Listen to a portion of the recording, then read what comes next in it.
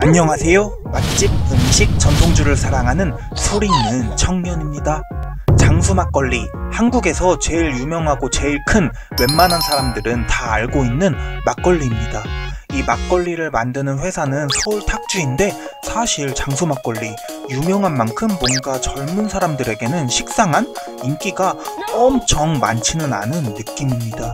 그런데 이번에 이 서울 탁주에서 젊은 분들을 겨냥한 달빛 유자라는 신제품을 출시했습니다.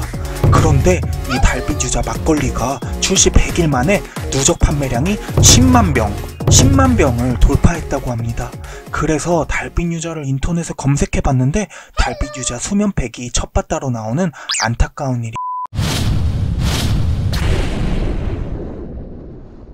달빛 유자 대기업 막걸리 양조장 제품답게 CU와 GS에 입점해서 이 막걸리는 굉장히 쉽게 구할 수 있습니다.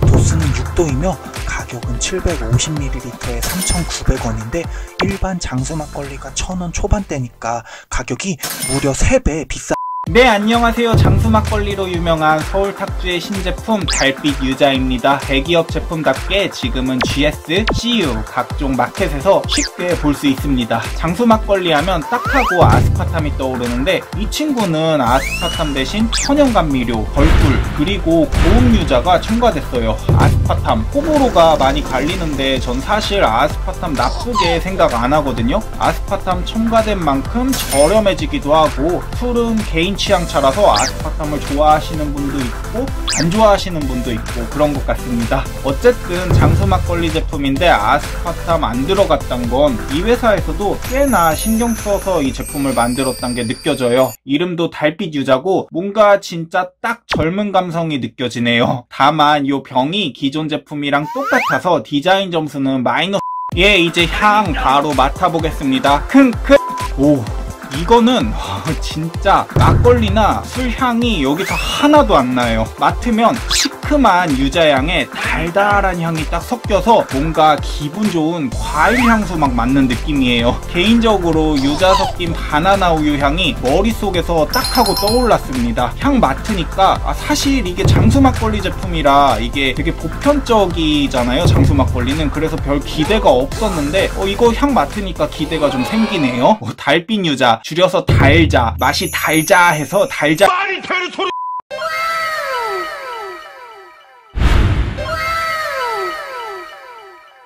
네 일단 따랐는데 따랐을 때 탄산도 꽤나 올라오고 막걸리 색 보면은 유자색처럼 막 노란색은 아니고 일반 막걸리 색네 이제 기대하는 시간인데 바로 마셔볼게요.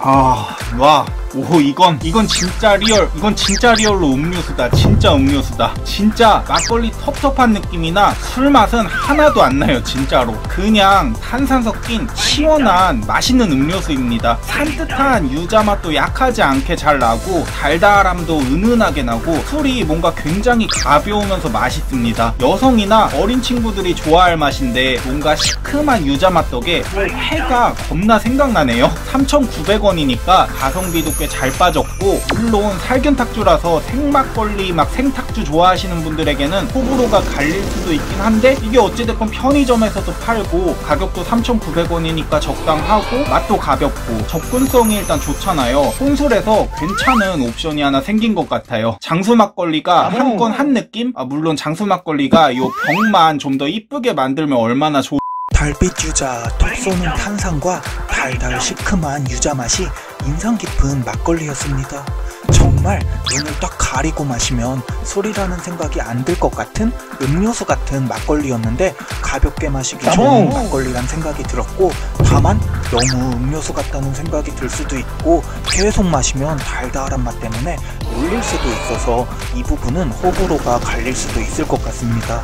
그래도 가볍게 마시기 좋은 막걸리 중 괜찮은 선택지가 생긴 것 같고 다음번에 달빛 유자를 검색어에 치면 수면팩보다 3위에 뜨기를 바라겠습니다. 금일의 영상은 재미있으셨나요? 다음번에 또 다른 리뷰로 여러분들을 찾아뵙겠습니다.